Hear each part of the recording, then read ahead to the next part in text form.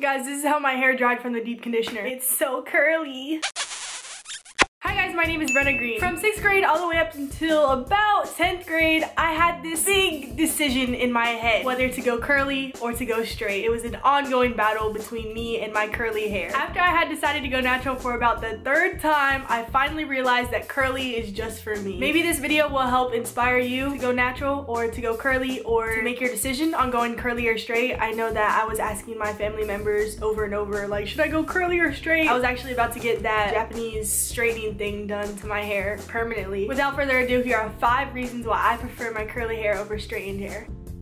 Number one, rain. I live in Florida and the amount of rain that we get in Florida during the summer is crazy. When my hair is straightened, I'm literally like crying when it's raining outside because I don't want my hair to get wet and if it gets wet, it goes back curly and there's no product in it so then it gets frizzy and so on and so forth. I don't know about you guys but whenever my hair is curly and it's raining outside, I honestly don't care. I'm not like, oh my god, my hair. I'm just like, Number two, products. Okay, so I use heavy stylers on my curly hair, mostly gel. But with straight hair, you can't put gel in your hair or else it's gonna be all stiff. And the problem with my hair is it is frizzy. So I need product. And if I don't have product and I walk outside, it's gonna go poof. Number three is breakage. Now a lot of people would disagree with me on this one, but this is just my hair. When my hair is straightened, I get so much more breakage. I remember going a solid like two weeks of my sophomore year straightening my hair. And by the last day of the two weeks, I straightened it and I looked down at my sink and there were little pieces of my ends like broken off on the sink. But with my curly hair, it doesn't do that and I don't really get breakage that much. Number four is happy. My hair is so much healthier when it's curly. My hair is very sensitive, so if I straighten it up to three times, it starts to damage. So the curly state is the happy state. The last one, number five, is frizz. Curly hair can pull off frizz, whereas straight hair just can't